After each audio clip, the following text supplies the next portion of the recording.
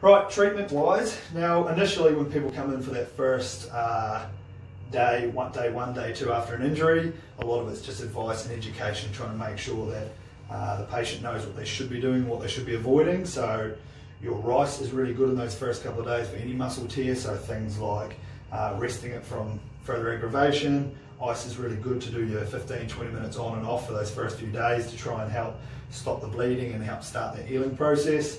Uh, compression is really good too, so we'll put some of that on soon to show you. Uh, and then things like elevation. So with hamstrings, it's a, it's a wee bit hard, but you can prop your uh, legs up on pillows or on the couch and try and look at getting a little bit of that blood flow out of there too. So from a clinical perspective, we try to do a lot of um, gentle soft tissue massage.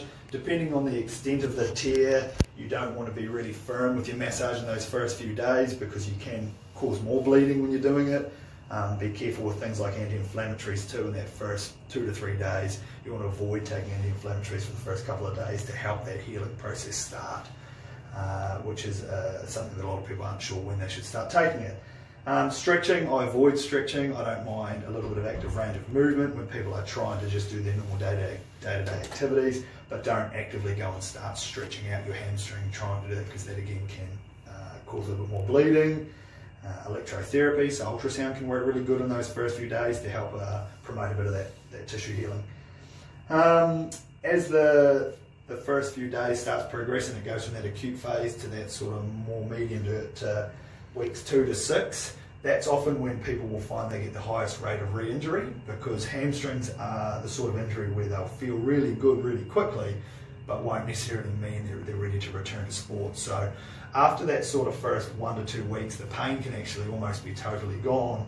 Um, but that doesn't necessarily mean that the, the hamstring's ready to go back doing the, the task that you want to get back into with your sports or your work and things like that. So to test that, there's a lot of different exercises that we will be giving people over the first couple of weeks. But what I do like to do for a start, uh, if you have a roll back onto your back, Justine is try and start getting people doing a little bit of that active knee work, so holding your hand behind your leg and just starting to do a little bit of gentle extension work up through there, just to start not only getting the muscle lengthening, but actually start getting a little bit of that uh, blood flow going back into it. That's often not very painful for people those first couple of days.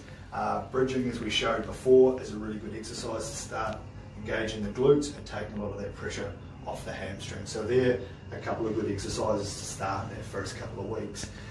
With rehab for these things, uh, the rule of thumb for most hamstring injuries is about minimum of three to four weeks, regardless of how bad the tear is. That's not saying that you'll be sore for three to four weeks, but saying that that's how you can really make sure that you give the muscle the best amount of time to start healing.